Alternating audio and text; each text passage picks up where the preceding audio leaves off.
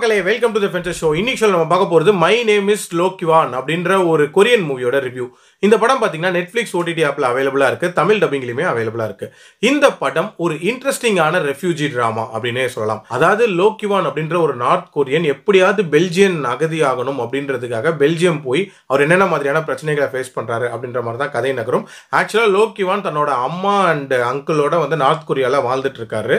அவரோட உயிரை காப்பாற்றிக்கணும் அப்படின்ற ஒரே காரணத்துக்காக தன்னோட தாய் இறந்துருக்கிறதையும் மீறி இவர் வந்து பாஸ்போர்ட்லாம் ரெடி பண்ணி பெல்ஜியத்துக்கு கிளம்பி போறாரு. அங்கே போய் எப்படியாவது அந்த ரெஃப்யூஜி ஸ்டேட்டஸை வாங்கிடணும் அப்படின்ற மாதிரி வெயிட் பண்ணிட்டு இருக்காரு. பட் அந்த ஸ்டேட்டஸ் கிடைக்கிறதுக்கு சில நாட்கள் ஆகும் அப்படின்ற மாதிரி சொல்றாங்க. அது வரைக்கும் இவருக்கு என்ன பண்றது அப்படின்னே தெரியல. அந்த டைம்ல தான் மேரி அப்படின்ற ஒரு பொண்ணோட நட்பு கிடைக்குது.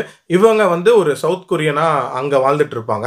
ஸோ மேரிக்கும் இவருக்கும் என்ன மாதிரியான ஒரு ரிலேஷன்ஷிப் உண்டாகுது? மேரி லைஃப்ல என்னென்ன மாதிரியான பிரச்சனைகள் வருது? அண்ட் இவருக்கு அந்த ரெஃப்யூஜி ஸ்டேட்டஸ் கிடைக்கிறதுக்குள்ள இவரோட வாழ்க்கையில் என்னென்ன மாதிரியான சம்பவங்கள் நடக்குது அப்படின்ற மாதிரி நிறைய விஷயங்களை சொல்லக்கூடிய ஒரு படம் தான் இந்த படம். பாசிட்டிவ்ஸை பொறுத்த வரைக்கும் எனக்கு இந்த படத்தோட முக்கியமான பாசிட்டிவாக படுறது ஒரு இன்ட்ரெஸ்டிங்கான ரெஃப்யூஜி ட்ராமாவை நம்ம கண்ணு முன்னாடி கொண்டு வந்தாங்க அப்படின்னு சொல்லலாம்.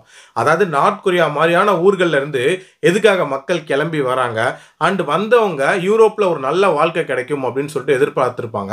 அவங்களுக்கு என்னென்ன மாதிரியான சேலஞ்சஸ் இருக்குது என்னென்ன மாதிரியான ஒடுக்குமுறைகளை அங்கே ஃபேஸ் பண்ணுறாங்க அப்படின்ற மாதிரி நிறைய விஷயங்களை ரொம்ப யதார்த்தமாக காட்டியிருந்தாங்க அப்படின்னே சொல்லலாம். ஆல்சோ இந்த படம் நல்ல எமோஷனலி கனெக்டட் மூவி அப்படின்னே சொல்லுவேன். அதாவது ஹீரோக்கும் சரி ஹீரோயினுக்கும் சரி தாய் இறந்துருப்பாங்க. அண்ட் அதுக்கு இன்டெரக்டாக இவங்க ரெண்டு பேரும் காரணம் அப்படின்ற மாதிரி இருப்பாங்க. உண்மையிலே வந்து அந்த கில்ட்டை சூப்பராக கொண்டு வந்திருப்பாங்க. அண்ட் அதனாலே ஒருத்தருக்கு ஒருத்தர் ஒரு விதமான பாண்டிங் அப்படின்றது ஏற்படுற மாதிரியும் காட்டியிருப்பாங்க. ஆல்சோ இந்த படத்தில் ஒரு பாச போராட்டம் அப்படின்ற மாதிரியுமே காட்டியிருப்பாங்க. அதாவது தந்தைக்கும் மகளுக்கும் இருக்கிறது.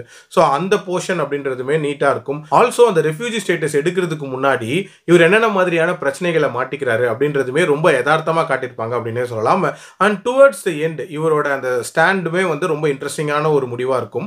நெகட்டிவ்ஸை பொறுத்த வரைக்கும் பார்த்தீங்கன்னா இந்த படத்தோட டியூரேஷன் அப்படின்றது தான் ஒரு மிகப்பெரிய நெகட்டிவாக நான் பார்க்குறேன் அதாவது ரெண்டே கால் மணி நேரம் போகுது. அந்த அளவுக்கான ஒரு கண்டென்ட் இதில் இல்லை அப்படின்னே சொல்லுவேன் இன்னும் கொஞ்சம் கிறிஸ்பாக சொல்லியிருந்திருக்கலாம். அண்ட் ஆல்சோ ஸ்க்ரீன் ப்ளே அப்படின்றதுமே கண்டிப்பாக பேச பண்ணி சொல்லியிருந்திருக்கலாம். ரொம்ப ஸ்லோவாக தான் நகருது. இதை தவிர இந்த படத்தில் நெகட்டிவ்ஸ் அப்படின்றதுலாம் இல்லை. ஒரு தரமான ரெஃப்யூஜி ட்ராமா கண்டிப்பாக ட்ரை பண்ணி பாருங்க. என்னோட ரேட்டிங் இந்த படத்துக்கு three point five out of five adult கண்டென்ட்டை பொறுத்த வரைக்கும் இதில் இருக்குது அதுக்கேற்ற மாதிரி பிளான் பண்ணிக்கோங்க. மீண்டும் அடுத்த விமர்சனத்தில் சந்திக்கிறேன். நன்றி. வணக்கம்.